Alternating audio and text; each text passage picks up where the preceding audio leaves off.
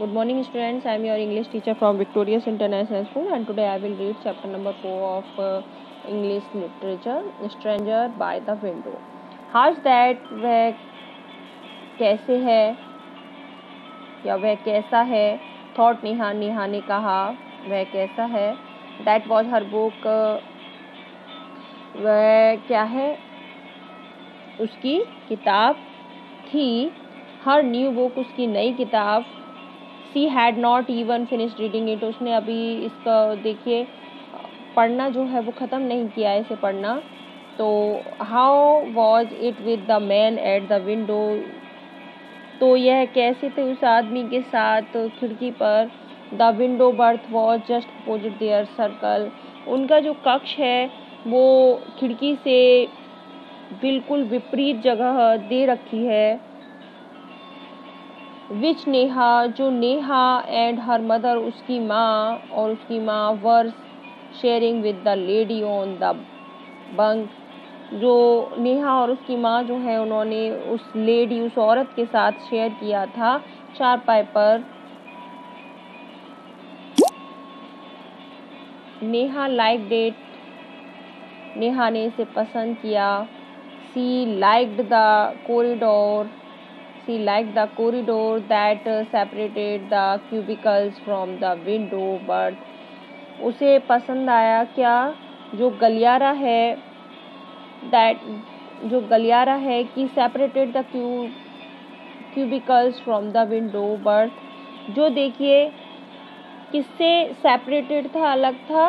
एकदम उस कक्ष से जो कहाँ थी? फ्रॉम द विंडो बर्थ, यानी कि जो खिड़की पर जगह दे रखी थी, खिड़की से जो जगह खिड़की से जो जगह दी थी तो कॉरिडोर जो था, वो उसे बहुत पसंद आया। ठीक है? जो कि क्या था? क्यूबिकल से बहुत ज़्यादा मतलब सेपरेटेड था। ठीक है? अलग था। One could have a stroll along it एक देखिए one could have a stroll along it इसके साथ वह, देखिए, एक आवारा भी हो सकती है। Neha that Neha had been enjoying chit chatting with her friend Nikhil in the other cubicle Neha जो है, वो अब देखिए, बहुत ज़्यादा गपशप यानी कि करते हुए अपने फ्रेंड्स के साथ, अपनी फ्रेंड के साथ, उसकी फ्रेंड कौन थी? निखिल और जो अन्य कक्षों में नेहा, कक्ष में देखिए नेहा जो है बहुत ज़्यादा इंजॉय कर रही थी, आनंदित हो रही थी गपशप करते हुए अपनी मित्र निखिल के साथ, ठीक है? तो उसे गलियारा बहुत पसंद आया था और यहाँ पर देखिए वह क्या हो सकती थी, इसके साथ वह आवारा भी हो सकती थी, ये बातचीत मतलब हंस, हँसी मज़ाक, खेलना, ये सब घूमना तो ये सारी चीज़ें वह इसके साथ आवारा भी हो सकती थी एंड नेहा बहुत ज़्यादा क्या कर रही थी, आनंदित हो रही थी मन ठीक है, गपशप कर रही थी, वो बातचीत कर रही थी किससे? अपनी मित्र निखिल के साथ, ठीक है? दूसरे कक्ष में। While coming back just at the entrance of the sir cubicle she looked back at and spotted the book जब देखिए वह, जबकि वह वापस आ रही थी तो जस्ट एट द एंट्रेंस केवल देखिए जैसे कि उसके प्रवेश हुआ था किसमें? कक्ष का जब उसका प्रवेश हुआ कक्ष में तो कक्ष में तो सी लुकड बैक उसने देखिए वापस देखा एंड स्पॉटेड द बुक और जो किताब थी उस पर क्या किया उसने? जब वो वापस आ रही थी तो उसने उस किताब पर नज़र डाली एकदम से। और उसने क्या किया उस किताब को आ, देखा। है ना? How come my book is lying with you मेरी किताब जो है वो यहाँ कैसे पड़ी हुई है आपके पास? सर, श्रीमान हियर, यहाँ नेहा क्राइड आउट नेहा चिल्लाई। The man did not stir आदमी जो था वो हड़बड़ा या नहीं ही वॉज़ बिज़ी रीडिंग आदमी अभी भी हड़बड़ाया नहीं और ही वॉज़ बिज़ी रीडिंग और यानी कि आदमी ने कोई भी हलचल नहीं की जब वह चिल्लाई कि यह मेरी किताब यहाँ कैसे आई तो। He was busy reading a newspaper that covered his face sideways वह व्यस्त था अखबार पढ़ने में, ठीक है? और उसने उस अखबार से अपना जो फेस है, वो क्या कर रखा था? कवर कर रखा था, ठीक है? और साइड वेज यानी कि उसकी जो किताब थी, वो कहाँ रखी हुई थी? बगल में। ही डिड नॉट रिप्लाई उसने उत्तर नहीं दिया।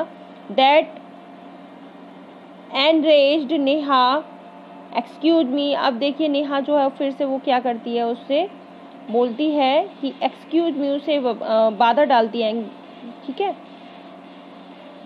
सी आस्क्ड अर्नेस्टली यस उसने ज़ोर दे करके कहा हाँ द मैन रिप्लाइड आदमी ने उत्तर दिया कि हाँ विदाउट लुकिंग अप बिना उसे देखे हुए बिज़ी रीडिंग एह और वह बिज़ी था इस रीडिंग में, पढ़ने में से पढ़ने में। लिसन सुनो I can I take my book क्या मैं अपनी किताब ले सकती हूँ?